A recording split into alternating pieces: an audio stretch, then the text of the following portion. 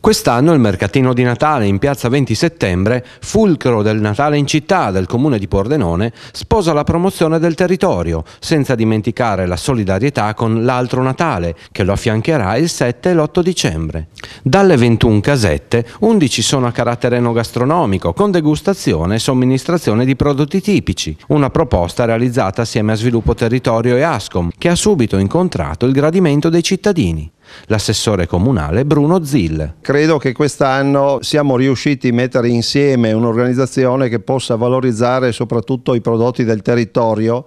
In particolar modo quest'anno avremo tutta una serie di casette che offrono quelli che sono i prodotti sia dal punto di vista eno e gastronomico. Credo che questo sia un momento importante per la città che coinvolga un po' tutte le attività, ma soprattutto abbia la capacità di rivitalizzare quello che è il centro storico. Quest'anno abbiamo la possibilità di prolungare questa iniziativa fino al 6 di gennaio. È un'opportunità che viene offerta alla città in seno a quella che è l'organizzazione di tutte le attività del Natale che permetteranno anche l'ultimo giorno dell'anno la possibilità di fruire la piazza e contestualmente avremo anche tutte le attività enogastronomiche presenti. Credo che questo sia un elemento innovativo che il risultato è stato anche grazie, oltre all'amministrazione comunale, sviluppo e territorio, ma anche a tutte le associazioni che concorrono in questa iniziativa del Natale.